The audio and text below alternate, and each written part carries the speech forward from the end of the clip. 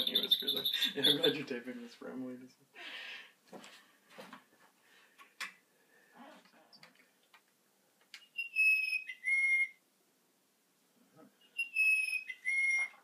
Oh, what would you think of a raven?